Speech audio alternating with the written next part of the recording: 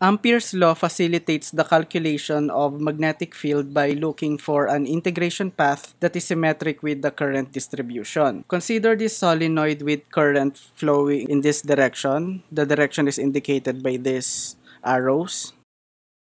A solenoid is a coil of wire that produces a magnetic field when current passes through it. To clearly see the magnetic field generated by a solenoid, let's look at the cross-section of this solenoid. If you forgot our notation for out of the page notation and into the page vector notation, please watch my video about this notation and the second right hand rule. The link is in the description box below. To use Ampere's law, we draw an imaginary integration path. For example, I choose this integration path so I can have an idea about the magnetic field inside the solenoid and outside the solenoid. So let's assume that the direction of our integration path starts here, point A, and then goes this way, B, then C, then D. So essentially my integration path flows this way.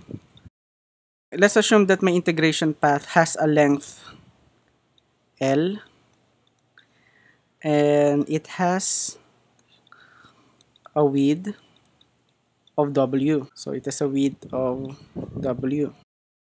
The integral of B dotted to dl in this closed path consists of the magnetic field along this path which is I'll put B sub AB times the length L plus this path. The magnetic field along that path is B sub BC times W plus this path the magnetic field along that path, let's assume it as B sub dc times the length of that path plus B sub dA, the magnetic field along that path, and the length of that path is W. Now let's focus first on this term.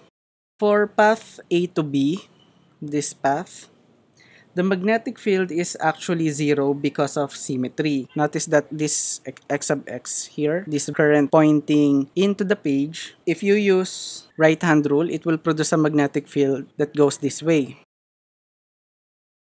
while this current vector here produces a magnetic field that goes this way. Now, it doesn't matter if its current components here are not enclosed by the loop because we are only considering one term. So, it produces an opposite magnetic field this way. So, they essentially cancel out each other, assuming that the radius of this solenoid is not very large. So, very near the solenoid, but outside the solenoid, the magnetic field is zero. So, this is 0 because the magnetic field B sub AB is 0. So even if you multiply it with L, which is non-zero, but B sub AB is 0, so this term is 0. Next, notice that along this path, both of this path that is multiplied to the width to W, the magnetic field, if you use right-hand rule, the magnetic field is obviously perpendicular with respect to this path.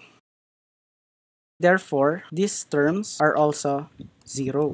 So we are only left with this term, b dotted to dl equals b sub dc times L. If we assume that the solenoid has n turns per unit length, so mathematically this means n equals number of turns per unit length, then I can rearrange this in terms of the number of terms, which is n times L. That means the capital N here is the number of turns. Since we are now dealing with the entire integral of b dotted to dl, if we have this length L, and it encloses this current, therefore we have an enclosed current of I, and if we have n turns inside this integration path, we have to multiply this with capital N. So if I try to replace this in terms of n turns per unit length, I'll end up with NL I. Now let me write down Ampere's law. We have B dotted to DL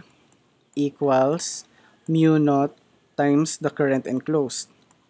So we have an expression for B dotted to DL which is this one and we also have expression for the enclosed current which is this one. So if I plug this here, I'll end up with B. Remember that B sub DC is the magnetic field inside the solenoid. So I'll just replace B sub DC with B inside, which means the magnetic field inside the solenoid times L equals mu naught enclosed and I enclosed is actually NLI. Notice that L cancels here. So I'll end up with the magnetic field inside the solenoid. I'm just writing down the magnitude because obviously, when it comes to direction, you just have to use the right hand rule.